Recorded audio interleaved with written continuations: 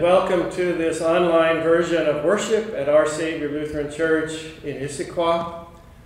Today is uh, the, the celebration of Holy Trinity, Holy Trinity Sunday, which is also the first Sunday of Pentecost. A day when we focus on the uh, historical doctrine that understands God as having three persons Father, Son, and Holy Spirit. Remember uh, to check your uh, the service folder that came along with a link to this video, and if you uh, it helps if you will follow along in that as we go along and look at those announcements carefully from the bulletin from that bulletin you received. Before I begin, I want to have a few comments about the crisis around racial inequality and injustice that we are currently facing as a nation.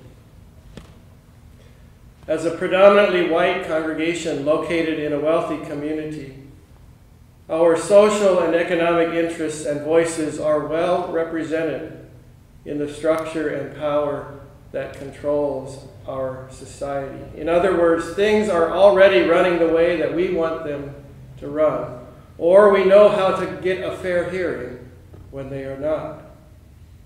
Our world right now does not need to hear more of the same from us. Our calling right now, as brothers and sisters of Christ, is one of deep listening. To stand with our brothers and sisters in the African American community who are suffering and tell us that their cries are not being heard. And to listen to what they have to say as best we can our only words right now are, What is your life like? I will try to understand, although I may need some help. And if I don't quite get it, I will go with you. I will stand by your side. So you do not have to speak up alone to the power structures that we have put into place. We want this country and the blessings that, of living in it to work for everyone. God loves you, and so do we. Our Savior Lutheran Church has a long history of service to those in need in Issaquah and in foreign lands. Today we are being called to be of service to those who are not so close, but are not very far away either, who need our help.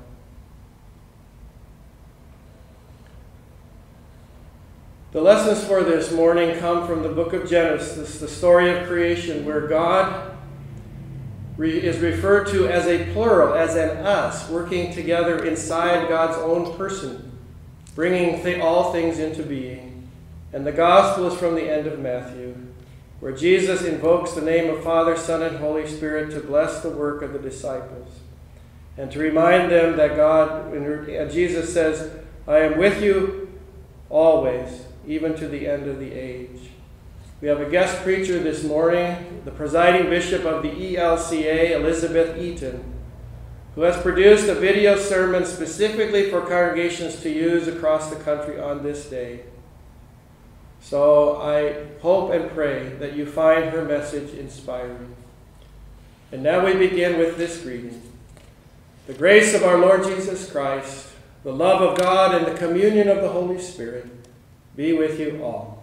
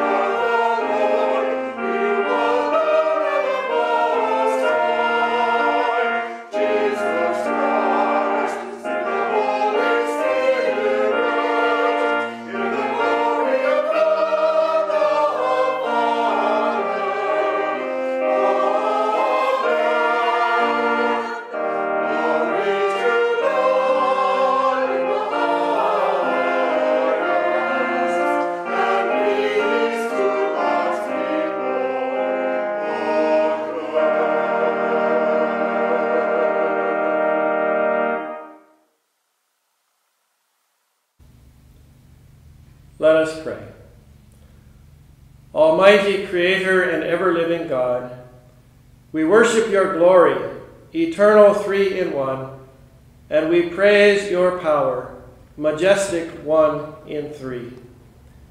Keep us steadfast in this faith. Defend us in all adversity and bring us at last to your presence, where you live in endless joy and love.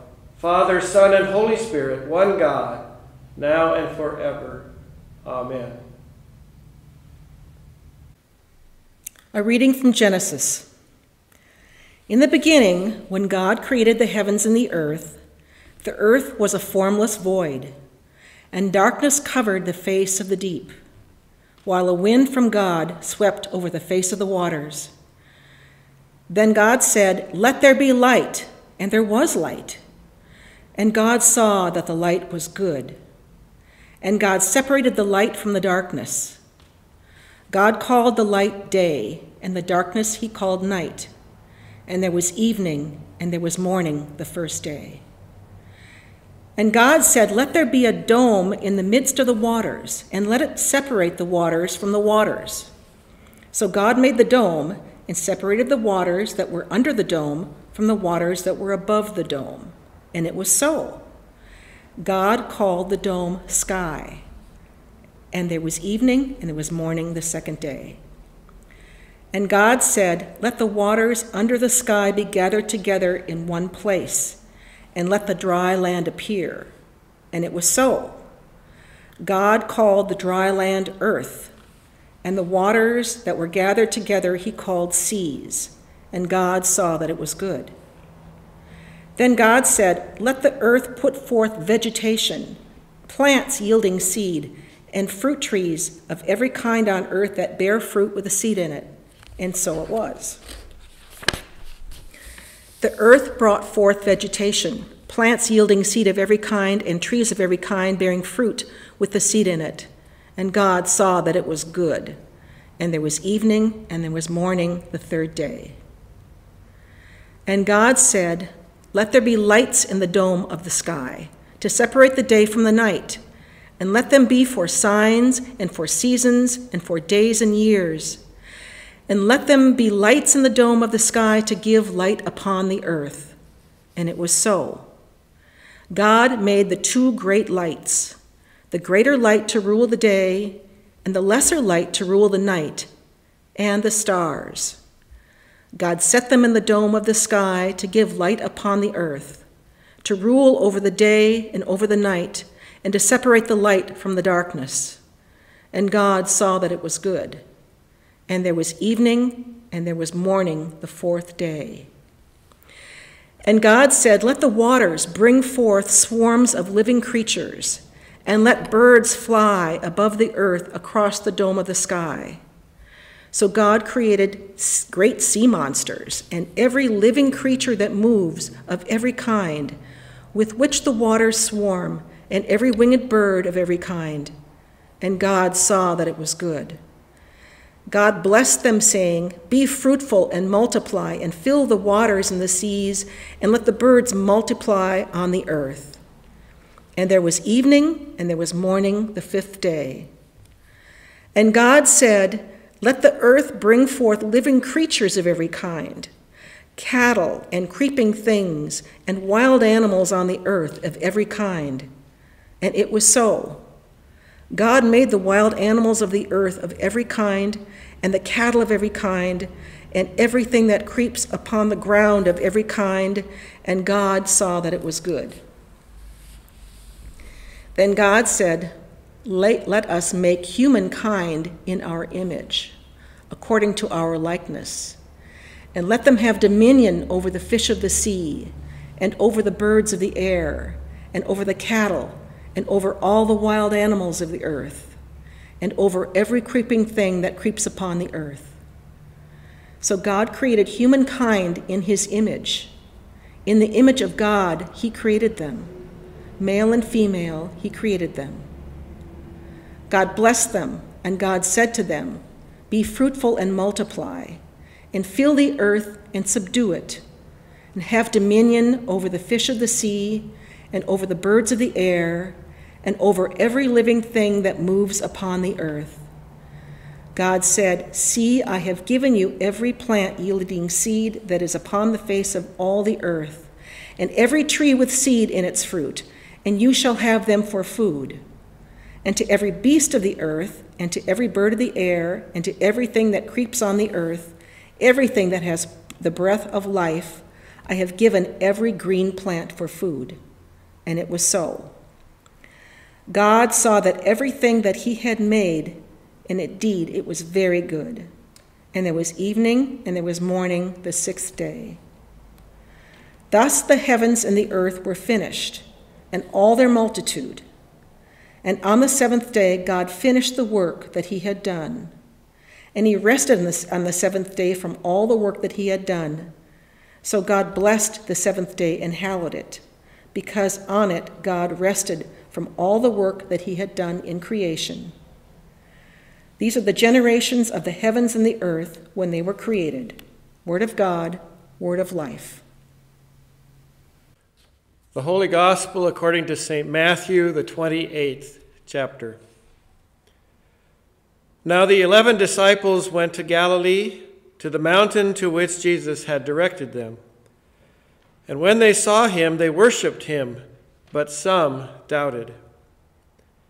And Jesus came and said to them, All authority in heaven and on earth has been given to me. Go therefore and make disciples of all nations, baptizing them in the name of the Father, and of the Son, and of the Holy Spirit and teaching them to obey everything that I have commanded, you. And remember, I am with you always to the end of the age. The Gospel of the Lord.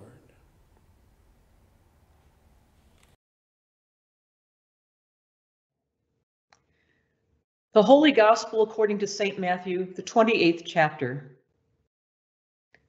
Now the eleven disciples went to Galilee, to the mountain to which Jesus had directed them. When they saw him, they worshipped him, but some doubted. And Jesus came and said to them, All authority in heaven and on earth has been given to me. Go therefore and make disciples of all nations, baptizing them in the name of the Father and of the Son and of the Holy Spirit, and teaching them to obey everything that I have commanded you. And remember, I am with you always to the end of the age. The Gospel of the Lord. Well, a lot has changed since last Trinity Sunday. Not just the COVID 19 pandemic under which we live, but also the killing of George Floyd, an unarmed, handcuffed black man, by a white police officer in Minneapolis. Just a few weeks ago, we learned, many of us, of the, the shooting of Ahmaud Arbery. But since that time, Breonna Taylor, Dreasjon Sean Reed, Tony McDade have also been killed. And how many others whose names are known only to their families and to God? Today is Trinity Sunday. It's a hard it's a hard holiday for us to wrap our minds around. It's a difficult a difficult concept. But we learn about the Trinity, particularly in today's first lesson from Genesis. In this beautiful song of creation, we hear in the beginning, when God created the heavens and the earth, the earth was a formless void, and darkness covered the face of the deep. And a wind from God swept over the face of the waters. And God said, and creation began. Martin Luther put it this way So also the Christian church agrees that in this description, there is indicated the mystery of the Holy Trinity. Father created through the Son, whom Moses called Word, and over this creative work brooded the Holy Spirit. Later, God says, Let us make humankind in our image. This is the glorious relationship with God that spills out into all creation. God is not a lone ranger, and all of God shows up. All of God shows up, delighting in creation, caring for creation, weeping for creation, redeeming creation.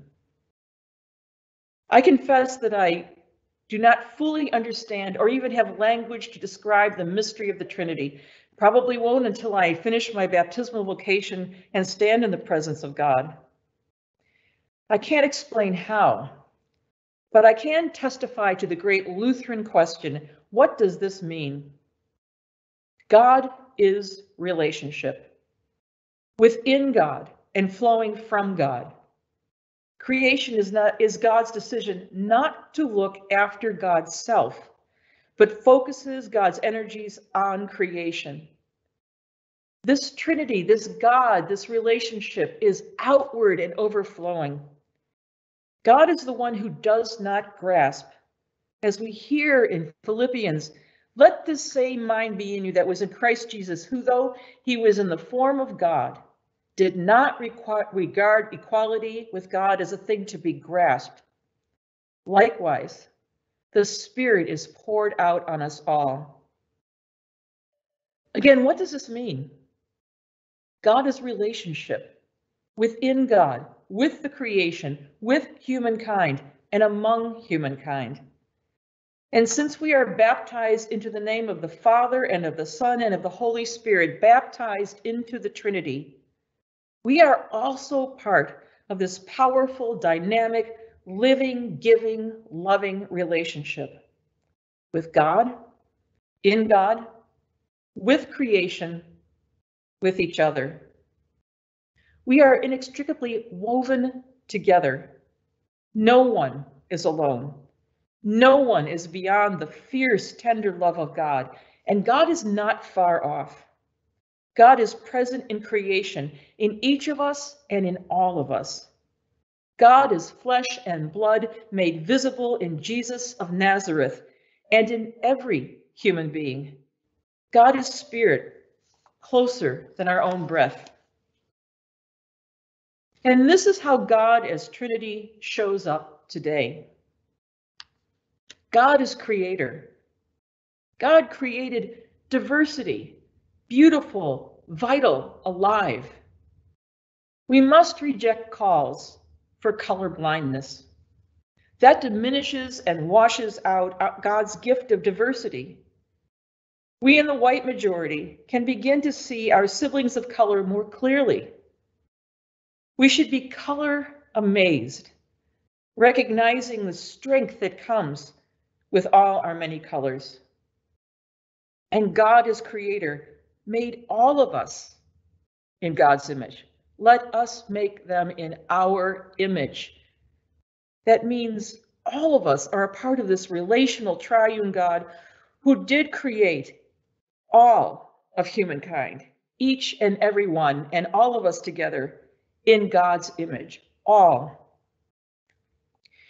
And God is the Word made flesh, our flesh, your flesh, my flesh, George Floyd's flesh. Jesus, in his passion, still suffers with those who suffer. The crucifixion of an unarmed, handcuffed man lying face down on the street is the crucifixion and the passion of our Lord.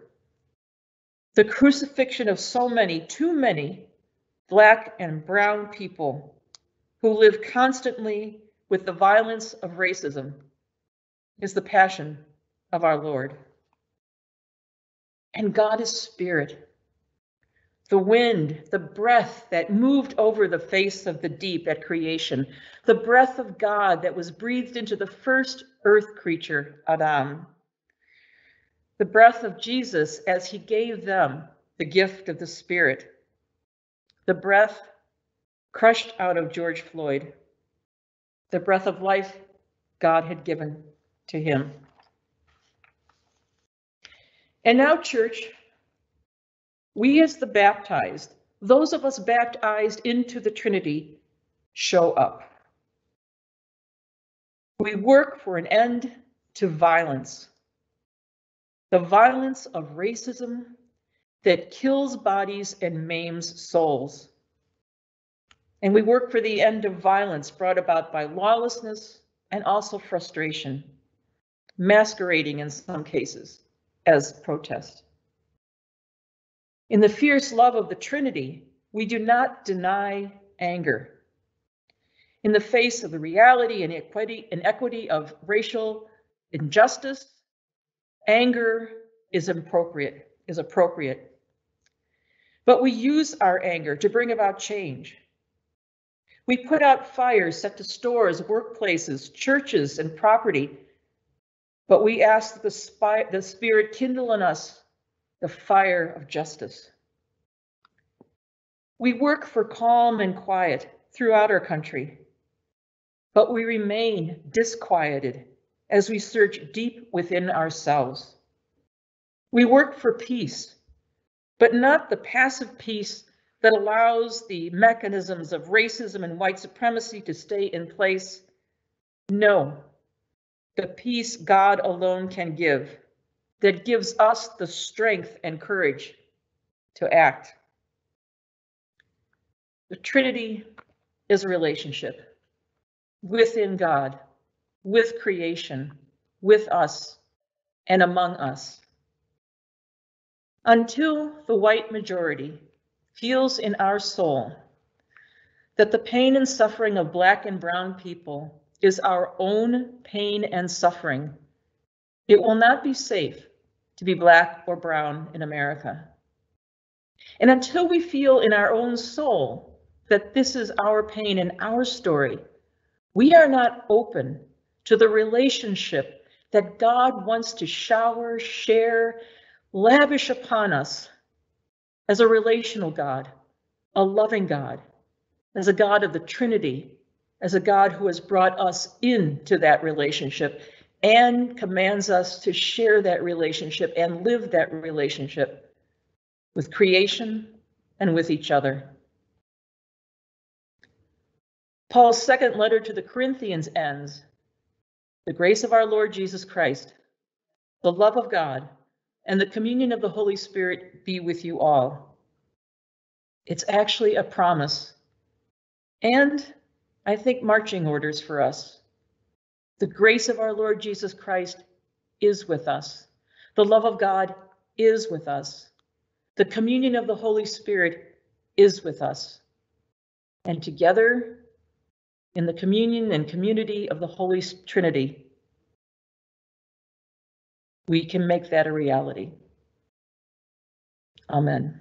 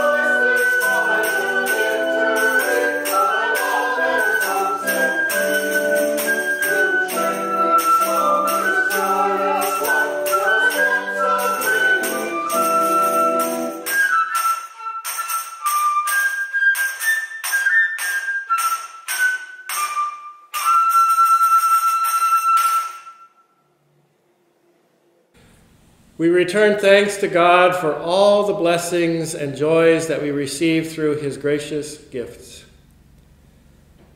God of mercy and grace, the eyes of all wait upon you, and you open your hand in blessing.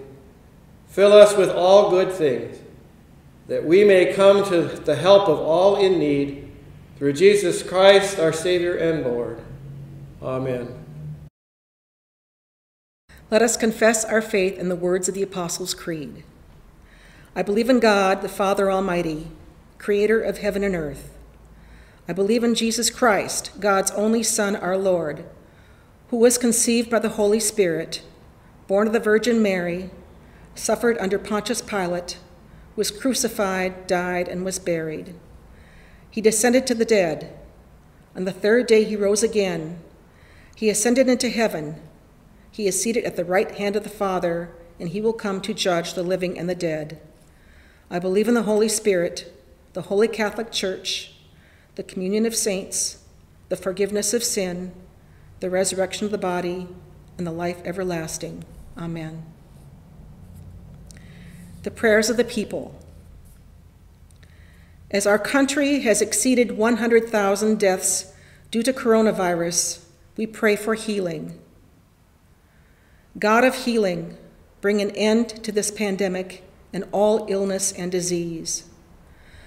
Bless those who stand in service to humanity. Bless those who grieve. Bless the dead so that their souls are bound up in the bond of life eternal. And grant those still afflicted with disease or trauma a completed and lasting healing, one by one until suffering ceases and we can stop counting the dead in heaven and on earth. A prayer for power of the Spirit among the people of God. God of all power and love, we give thanks for your unfailing presence and the hope you provide in times of uncertainty and loss. Send your Holy Spirit to enkindle us your holy fire. Revive us to live as Christ's body in the world a prayer, a people of who pray, worship, learn, break bread, share life, heal neighbors, bear good news, seek justice, rest and grow in the Spirit. Wherever and however we gather, unite us in common prayer and send us in common mission that we and the whole creation might be restored, renewed, and renewed through Jesus Christ our Lord. In this time of civic mourning, God, our Creator, through whose providing care we enjoy all goodness in life, turn our eyes to your mercy in this time of confusion and loss. Help us to see one another as your children. Comfort this nation as we mourn the dead and the great divisions in our country. Guide us to bring love and healing to our communities. Give assurance to those who are anxious. Grant strength to those who are tired. Shine your love on those whose only companion is hate. Teach us your wisdom and way of justice, love, grace, and peace. We renounce white supremacy, and we must help bring about social justice. Grant, O oh God, that your holy and life giving spirit may move every human heart, that the barriers dividing us may crumble, suspicions disappear, and hatred cease, and that, with our divisions healed, we might live in justice and peace. Through your Son, Jesus Christ our Lord. We pray for all who are in need of healing and strength. We pray for those who are facing ongoing challenges and health concerns. Lyle, Bodil, Perrin, Mike, Marilyn, Linda, Dave, Kip, Evie, Emily, Mike, Anthony, guests of the Community Meals Program, Sonia, Nicole, Josie, and Jeannie. Amen, amen, amen. Let us pray together the Lord's Prayer. Our Father in heaven, Hallowed be your name. Your kingdom come, your will be done on earth as in heaven. Give us today our daily bread. Forgive us our sin as we forgive those who sin against us. Save us from the time of trial and deliver us from evil. For the kingdom, the power, and the glory are yours, now and forever. Amen. So, in this service, we are saying uh, goodbye and farewell to um, two longtime members of our congregation, Mark and uh, Tammy Crone, who unfortunately um, are moving away and won't be able to participate in our congregation going forward. Mark and Tammy have been members of the congregation for 30 years. They came here in 1990. Um, much of what we see on the grounds around this building, they are responsible for, the upkeep and even getting it started. Um, uh, Mark has been on the church council for 10 years over that time period.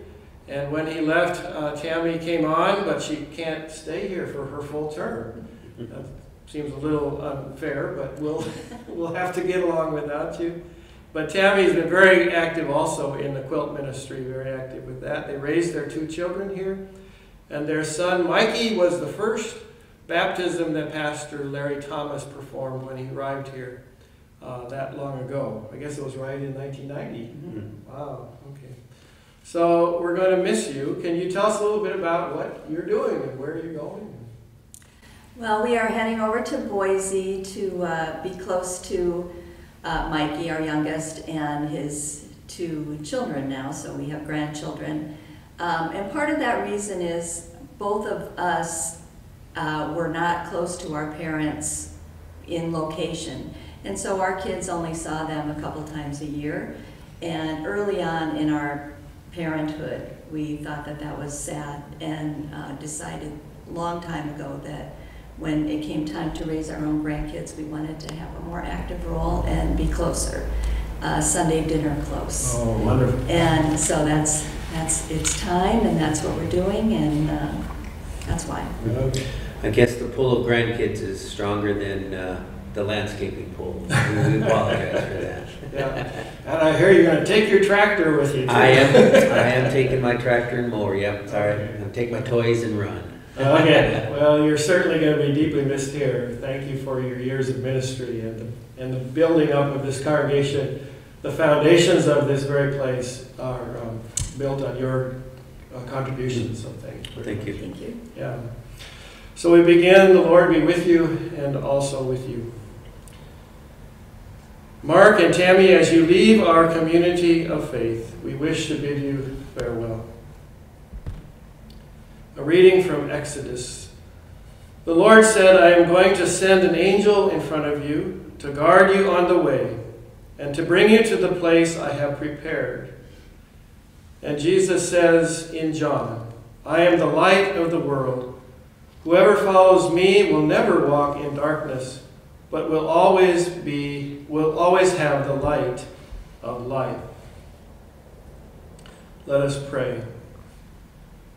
Gracious God, we thank you for the work and witness of your servants, Mark and Tammy, who have enriched this community and shared their gifts with friends and colleagues. Now bless and preserve them at this time of transition. Day by day, guide them and give them what is needed friends to cheer their way, a clear vision of that to which you are calling them. By your Holy Spirit, be present in their pilgrimage, that they may travel with the one who is the way and the truth and the life, Jesus Christ our Lord. Amen. Amen. And may Almighty God bless you and direct your days in peace. Amen. Thank you. Normally we would have a crowd to give you a round of applause for all you've done. So thank you for being there. I think one hand clapping might sound a little strange, but thank you very much. Thank you. And now we go forth with God's blessing. May God the sower make you good and fertile soil. May Christ the seed bloom and grow in your words and actions. May the fruitful Spirit bring forth a bountiful yield in your lives. God the Father, Son, and Holy Spirit bless you now and forever. Amen.